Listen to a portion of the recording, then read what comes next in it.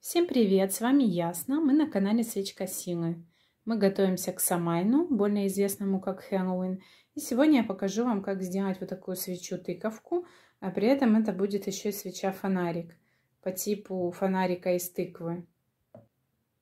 Сейчас в продаже очень много форм в виде тыквочки, но если вы не планируете делать много этих тыквочек, то из вощины вполне можно по этому принципу, который я сегодня расскажу, сделать себе сколько нужно тыковок, сэкономить на форме и еще и вот поиграться с модельками, сделать что-то такое необычное, интересное, не формовое, того, чего нет ни у кого, как я люблю всегда делать и показываю вам. Ну что, поехали! Чтобы сделать свечу тыкву, нам понадобится оранжевая вощина. Э, можно взять натуральную вощину, и чтобы немножко сэкономить, если хотите вот эту сэкономить, тоже можно внутрь заложить натуральную вощину. Нож обязательно, потому что мы будем много вырезать. И фитиль, тоже какого цвета захотите, я буду оранжевый использовать. Ну, вот я делала тестовый образец, видите, э, из натуральной вощины, тоже симпатично выглядит довольно. Итак, для начала мы делаем самую обычную свечу, которая будет у нас в основе тыквы. Высоту такую, какую тыкву мы хотим. Примерно 6 сантиметров высотой.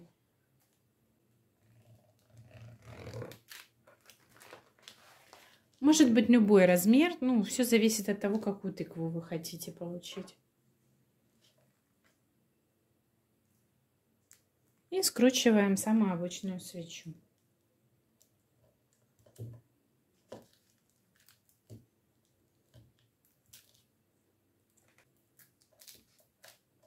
Мы сегодня делаем не просто тыковку, мы делаем именно тыковку фонарь. Это один из главных атрибутов Хэллоуина. И эта традиция пришла к нам из Америки. И там такая тыква со свечой внутри называется фонарь Джека.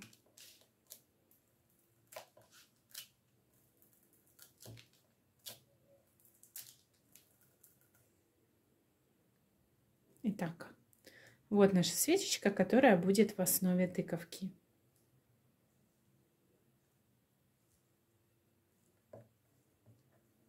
Выравниваем ее.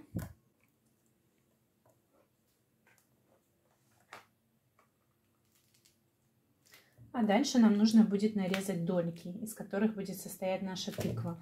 Для этого мы отрезаем полосочки оранжевой вощины. И уже из них будем вырезать дольки. Такая довольно монотонная работа, да, ну, вот это вот и будет основа нашей тыквы. Вот примерно такой длины нужно. Я не люблю готовых выкроек, в общем-то все делаю на глаз и вам показываю принцип. Потому что если вы не поймете принцип, то даже с готовой выкройкой у вас особо ничего не получится. Работая с вощиной, нужно всегда быть готовым экспериментировать, да, вот что-то такое делать. Вот у нас э, два варианта. Мы можем э, лепить нашу дольку прямо вот сюда, можем делать так, чтобы было видно серединку. Ну, сейчас по ходу работы будем смотреть, как получится. Итак, вырезаем по форме как дольку.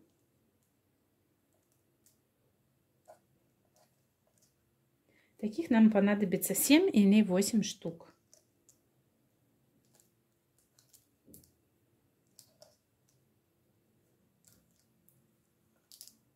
Каждая долька состоит из нескольких слоев вощины.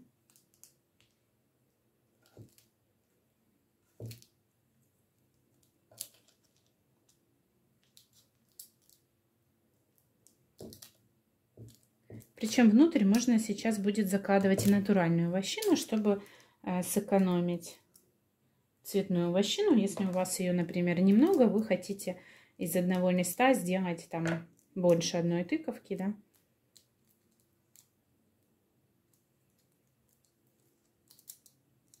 Ну, все это очень похоже на работу с пластилином. То есть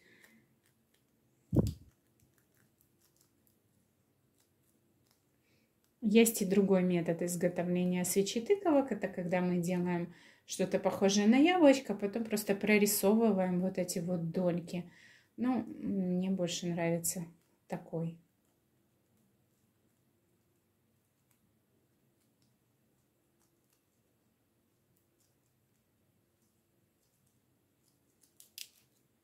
Видите, вот, да, основа для дольки.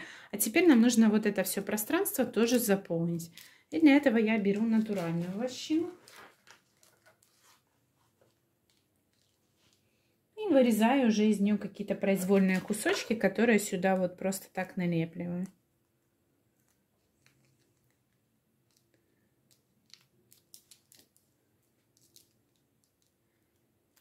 Эти свечи э, скорее декоративные, чем алтарные. Они не будут долго гореть, то есть где-то час примерно. Но нам это и не нужно, потому что э, они должны украсить наш праздник. Да? Их вот такая вот функция больше декоративная, чем какая-то.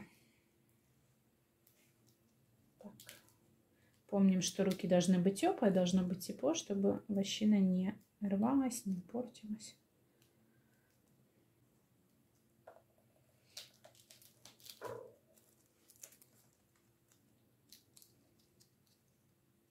Я, в общем-то, совершенно произвольно заполняю вот это все пространство вощиной.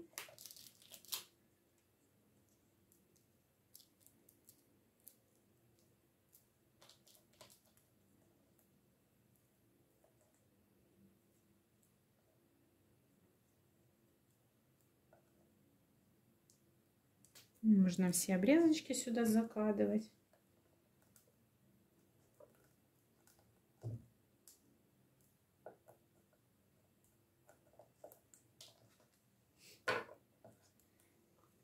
Эту свечу можно делать и с детьми.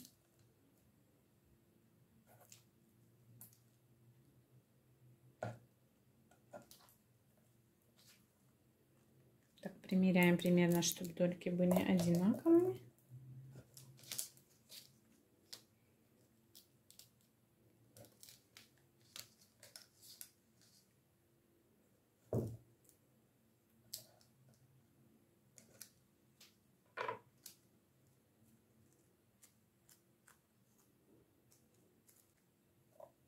И вот так потом из домик я соберу тыковку. Понятно, да? Сейчас холодно немножко, вощина более хрупкая, мне неохота фен доставать. Ну, смотрите, если вам не нравится, что она такая вот хрупкая и кажется, что она ломается, тогда лучше прогреть ее предварительно перед тем, как начинать с ней работу.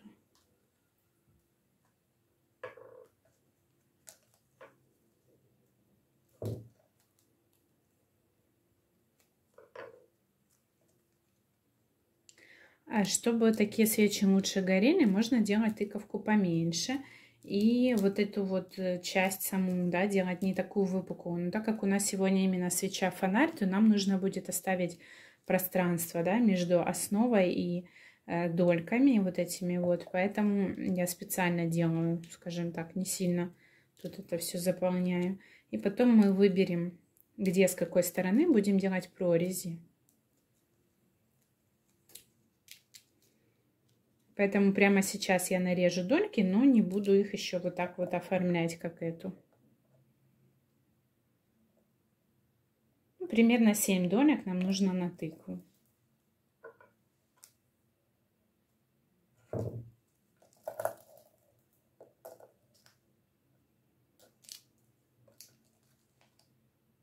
Не, не обязательно должны быть одинаковые, да, где-то шире, где-то уже. Смотрите.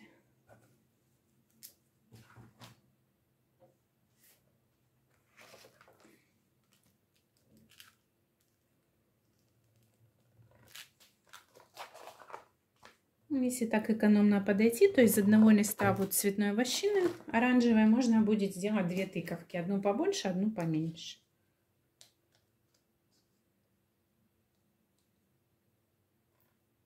Сейчас я делаю тыковку побольше.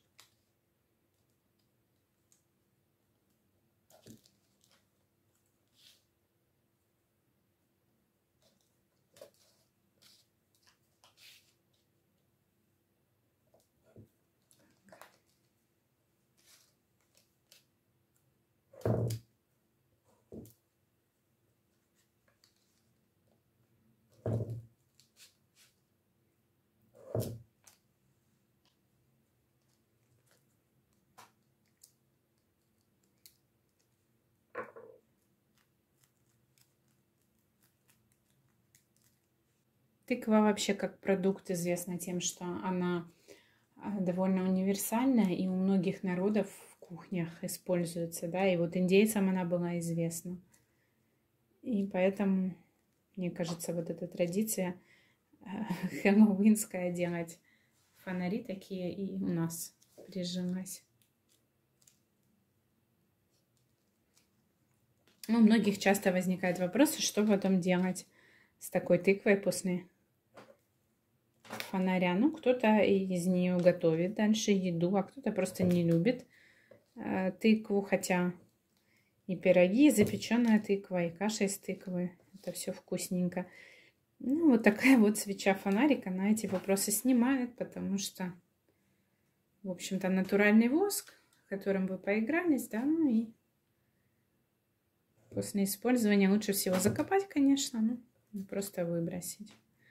Из всех э, атрибутов на Хэллоуин, мне кажется, именно восковые свечи наиболее эко-френдли.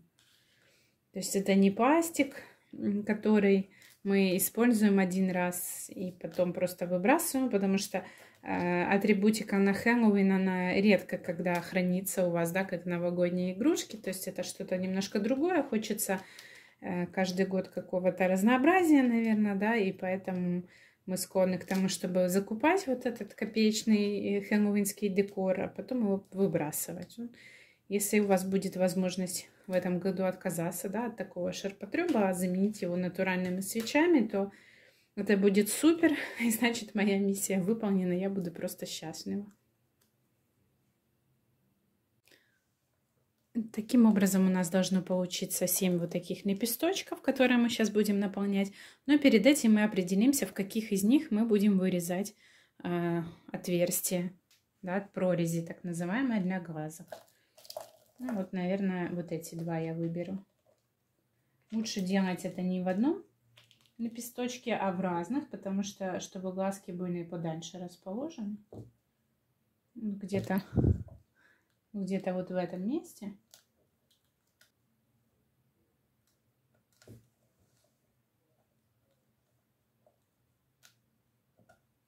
Ну, у меня уже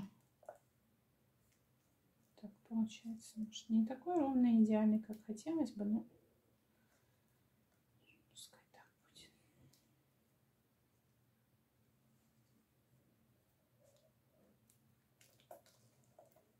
будет.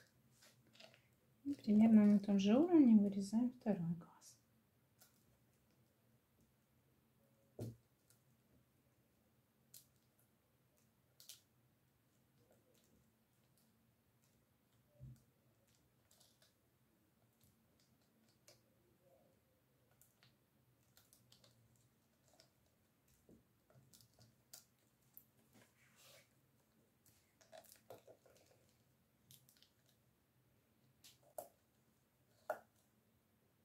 Теперь мы можем еще вырезать кусочек как будто носа. Ну и достаточно. Рот не будем вырезать, потому что может из-за этого вся конструкция чуть-чуть ехать. Если нужно, его можно сверху просто выложить такой коричневой какой-нибудь штукой. Ну и все, теперь э, работа заполнить вот эти все доньки каким-то таким ненужным вощинным наполнением, да, для того, чтобы они держали форму. И помним о том, что вот глазки есть, и там нужно оставлять пространство, которое потом будет гореть. Там я показываю, как я закладываю сюда. Вот это вот все, что у меня есть. Сюда отлично можно использовать какие-то вот остатки вощины, да, которая вам уже не нужна. Ну, конечно, это должна быть только натуральная вощина или оранжевая. В общем, какая-то близкая по цвету, потому что когда свеча будет гореть, она уже все-таки все будет топиться, таять. И нежелательно, чтобы это был какой-то контрастный цвет, то что будет некрасиво. Хотя, если у вас вот идея сделать какую-то такую фантазийную тыкву, да, которая при горении там еще и разными цветами растекается, то почему нет? Экспериментируйте, пробуйте. Ну, вот то, что я сейчас делаю, это заполняю вот это пространство.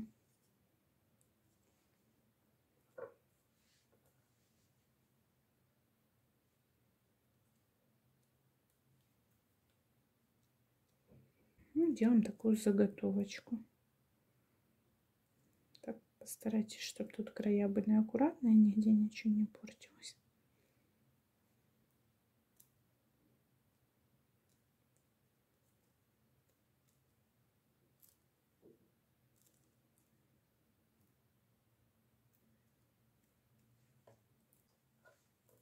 Итак, когда у меня готово 7 долек, две из них вот с вырезанными дырочками для газ, я начинаю собирать из них свечу.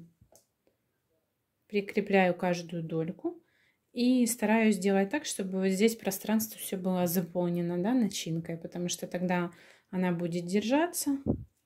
Вот, тогда есть шанс, что и гореть она дольше будет. Хотя, если вы очень спешите или экономите вощину, то можно, в общем-то, сюда внутрь ничего и не ложить.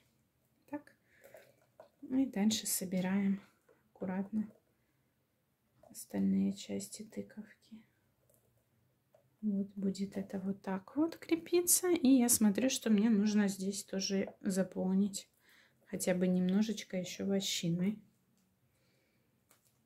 Для этого берем натуральную вощину, вот так вот произвольно ее тут размещаем. Сверху не трогаем, потому что помним, что у нас там должно светиться, то есть это фонарик. Из вощины очень классно делать такие свечи вот э, на темный сезон, именно да, с разными эффектами при горении, то есть ну, фонари. И когда еще очень давно много лет назад я делала самые там примитивные свечи, то как раз мне нравился такой эффект, что оставалась как бы корона, которая потом формировала такой подсвечник, фонарь.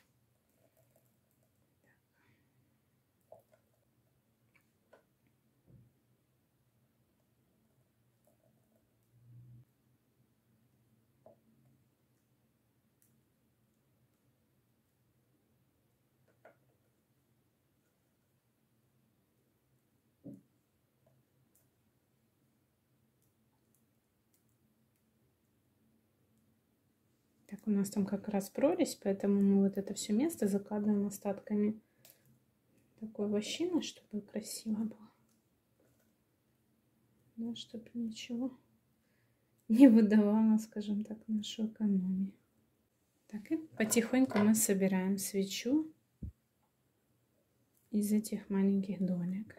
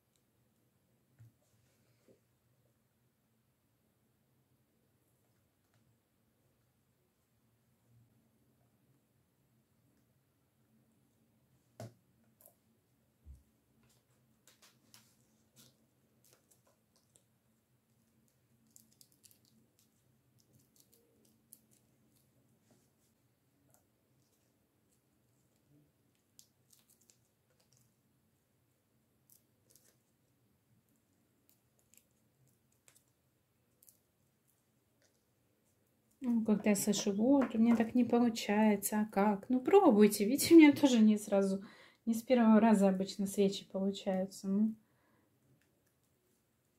я всегда делаю тестовый один экземпляр. Дальше потом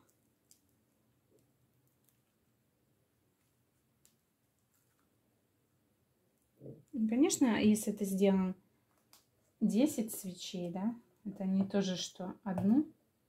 Так, и здесь уже работа, в общем-то, по лепке идет, да.